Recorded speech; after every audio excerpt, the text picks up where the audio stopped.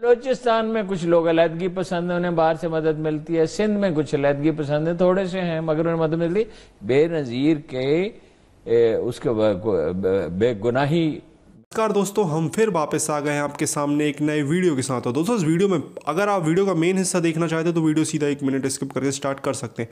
इस वीडियो में आप आगे देखेंगे पाकिस्तान में बलूचिस्तान की राजधानी क्वेटा में, जो एक ऑल पार्टीज़ का जलसा जलूस हो रहा था, उसमें बलूचिस्तान की आज़ादी के नारे लगे स्टेज से। अहमद नूरानी की एक पार्टी है, उन्होंने बलूचिस्तान की आज़ादी के नारे लगा दिए। उसी को लेकर पाकिस्तानी मीडिया भड़क गया है और बोल रहा है कि फ़ौज को स्ट्रिक्ट एक्शन लेना चाहिए। और नवाज़ शरीफ ने भी कुछ कंट्रोवर्शियल स्पीच दी है अकॉर्डिंग टू पाकिस्तानी मीडिया। हालाँकि नवाज़ शरीफ प्रधानमंत्री रह चुके हैं, पाकिस्तान के तीन बार से ज़्यादा। तो जो आर्मी के अगेंस्ट वो बोल रहे हैं तो उसमें ऑब्वियसली कुछ ना कुछ सच तो वो बोल रहे होंगे क्योंकि प्रधानमंत्री रह चुका हुआ बंदा अगर आर्मी पाकिस्तान में कंट्रोल करती है तो डेफिनेटली वो सच बोल रहा होगा। तो चलिए दोस्तों बिना किसी देरी के वीडियो की ओर बढ़ते हैं और वीडियो रानी साहब ने आज जलसे के अंदर ये नारा लगाया आज़ाद बलोचिस्तान। बलूचिस्तान आज़ाद करो। नूरानी बेचारा कोई चीज़ नहीं है। जागों के तसरुफ में अकाबों के नशेमन उनके वालद बहुत बड़े लीडर थे। नहायत सादा ज़िंदगी बसर की।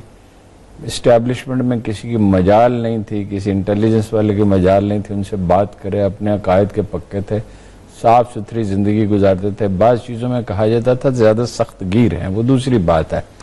छोटे से फ्लैट में रहते थे जाओ लोग वहाँ से गुजरे तो किसी ने उनसे इशारा करके कहा उसके बहुत सख्त खिलाफ थे। ये है शाह नूरानी का मकान। अच्छा। छोटे से फ्लैट। कुरान पढ़ते रहते थे। बस वो कुछ गुफ्तार भी बड़े थे बड़ के बाद ज़्यादा ही फ्रैंक हो जाते थे बस। मबूत हो गया और उसने कहा मौलाना को मेरा सलाम कहना।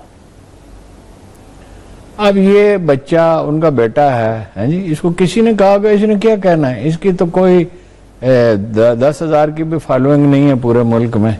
और इसको गालबन कोई चकमा वगैरह दिया तो मैं सेनेटर बना देंगे कुछ बना देंगे स्पेशल सीट उसके ऊपर ऐसे और जो बात वो कह रहा है उसका मफहूम ही उसे मालूम नहीं है। बलूचिस्तान के बगैर तो पाकिस्तान क्या है? आप साहिल समंदर दे दें दुश्मन को। ये इंडियन क्या चाहते हैं? ये इंडिया का मुतालबा है। भारत इसराइल दोनों अच्छा बगैर सोचे सोचे समझे। नहीं भारत का मंसूबा है। हम्म। मतलब ये कि इसराइल क्यों नहीं चाहेगा? इसराइल तो पाकिस्तान का खात्मा चाहेगा इंडिया भी चाहेगा। अनारकी खतरा तो पाकिस्तान से ही है इसराइल को भी इंडिया से। और इंडिया को तो पहले दिन से है। वाक्य जो रूनमा हुआ है वो ये है जो नवाज़ शरीफ साहब ने बात कही है। बड़ी ओपनली और उन्होंने फौजियों से कहा आम फौजियों से कहा वो ताबर न करें। जी। उन्होंने सिविल सर्विस से कहा वो ताबर न करें। बिल्कुल। मसलन जो कुछ कहा तो ये जो कानून के खिलाफ हो मगर उसकी ताबीर कौन करेगा? यानी एसएचओ से कहा जाए कि एसएसपी का जो एसपी का जो हुक्म और डीएसपी का कानून के खिलाफ मत मानो। अब उसकी ताबीर थानेदार खुद करेगा। डीएसपी एसपी की ना माने एसपी सीसीपीओ की ना माने सीसीपीओ आईजी की ना माने, और आईजी हुकूमत की ना माने। स्टेट खत्म हो गई इसको अनारकी कहते हैं। उसने आवाम से भी कहा, आपको याद है, इमरान खान साहब ने कहा देखो, धरना तो एक अलग बहस है होना चाहिए था या नहीं होना चाहिए था। बिजली के बिल फाड़ दिए का बैंकों से पैसे न भेजें, हुंडी से भेजें, और सिविल डिसोबीडियंस। तो मुझसे उस वक्त पूछा गया मैं हॉस्पिटल में था, फ़ोन किसी ने किया? मैंने कहा, इस गलती पे वो बहुत पुछताएगा बिल भी पे करने होंगे, डिसोबीडियंस भी नहीं होगी। देखिए, होगा नहीं। अव्वल तो तमाम दुनिया में जो सर्वे होते हैं, वो बताते हैं कि फौज सियासतदानों से ज़्यादा पॉपुलर होती है। इसलिए कि जान खतरे में डालती है। और की डिसिप्लिन में रहती है अपनी तनख्वाह में बसर करती है। मैंने एक मशहूर ब्रिटिश खातून अखबार में से पूछा कि अपने सियासतदानों के बारे में तुम क्या कहती हो? उसने कहा डिसगस्टिंग वो तो निज़ाम का दबाव है ना कि वो ज़्यादा गड़बड़ नहीं कर सकते। हम्म। बात यह है नवाज़ शरीफ साहब हद से गुजर गए। उस हद से गुजर गए जिसके बाद वापसी नहीं होती ये ऐसा आदमी है जिसपे किस्मत ने बड़ी मेहरबानियाँ की मगर वज़ीर बना मेहरबान वज़ीर आला बना तीन दफ़ा वज़ीर आज़म बना हर दफ़ा इसने अपने आप को खुद बर्बाद किया हुँ? हम्म? हर दफ़ा इस शख्स ने मैं भी अजीब बहुत अजीब हूँ ऐसा अजीब हूँ कि बस खुद को तबाह कर लिया और उसका मलाल भी नहीं। यानी होशो हवास ही है, दाग का शेर है, होशो हवास, ताबो तबाह खो चुके हैं दाग। खुद भी जाने वाले हैं, सामान तो गया। जब आदमी इस हद को पहुँच जाता है, देखिए ये मिन्नत समाजत करता रहा। दो, तीन इसकी बड़ी गलतियाँ एक तो फौज जो है, वो सिविल सर्विस की तरह नहीं होती, दुनिया में कहीं भी नहीं होती। दूसरी पाकिस्तान की खास नोयत है बलोचिस्तान में कुछ लोग अलहदगी पसंद है उन्हें बाहर से मदद मिलती है। सिंध में कुछ अलहदगी पसंद है थोड़े से हैं मगर उन्हें मदद मिलती बेनजीर के ए, उसके बेगुनाही में मारी गई। और उस पर जो सिंध में आग लगी थी आपका ख्याल है पीपल्स पार्टी के वर्करों ने लगाई थी रेलवे स्टेशनों को सरकारी बिल्डिंगों नो। सिंध इंतहा पसंदों ने जिनके एम आई सिक्स से मरासम थे और आईसीआई ने ट्रेस भी कर लिया था खामोश रही मगर हम्म।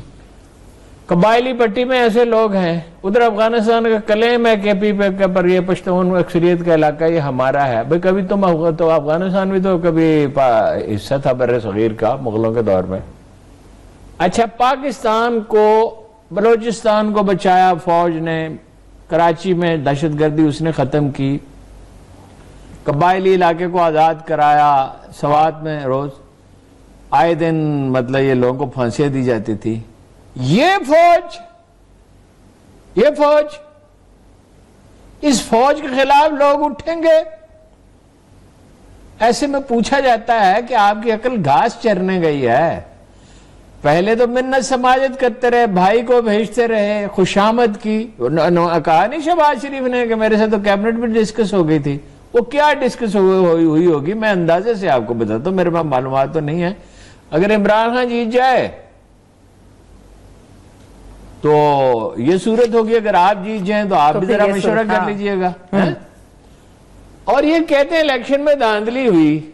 मैं नहीं कहता इलेक्शन बिल्कुल फेयर हुए इस्टेब्लिशमेंट की नफसियाती ताइद उसे हासिल थी इसीलिए जनूबी पंजाब बलोचिस्तान में और कुछ लोग और शामिल हुए। लेकिन अगर पोलिंग पे धांधली हुई थी बड़े पैमाने की तो वस्ती पंजाब की उन डिवीजनों में जहाँ वाकई ये बहुत ज़्यादा पॉपुलर थी Noon league Gujranwala division Faisalabad division और सबसे बढ़कर लाहौर डिवीज़न उसकी 42 में से 33 सीटें ये कैसे जीत गए? ये तो वो भी बात हो करनी थी। हाँ। वो तो इमरान खान साहब को तो सूझबूझ नहीं थी टिकट कैसे जारी किए जाते हैं। लेकिन ये कि जो तुमने जीते थे बीस सौ तेरह के इलेक्शन धांधली का इल्ज़ाम तो उसमें था। हाँ। और एमक्यू ने तो टिका के उसमें धांधली की थी। फिर भी इमरान खान को अक्सरियत नहीं मिली। एमक्यूएम को और काबली को साथ मिला के जो हुकूमत बनानी पड़ी। अच्छा तुम पे भी इल्ज़ाम था तुम्हें पाँच साल पूरे दिए गए। पीपल्स पार्टी पे इल्ज़ाम था उसे पाँच साल पूरे। उसने दही सिंध में 2008 में डट के धांधली की थी। पुलिस की मदद से वडेरों की मदद से। अब आप ऐसी बात करते हैं कि मुल्क में अनारकी फैल जाए ये शाम बन जाए ये लीबिया बन जाए ये इराक बन जाए सिर्फ़ पाव गोश्त के लिए। सिर्फ़ इसलिए कि या तो आपकी साहबजादी वज़ीर आज़म बने यानी ये एक ब्लैक मेलर एटीट्यूड है। देखना होगा फौज किस तरह रिएक्ट करती है। मैं तो ये हमेशा कहता हूँ कि तहमल और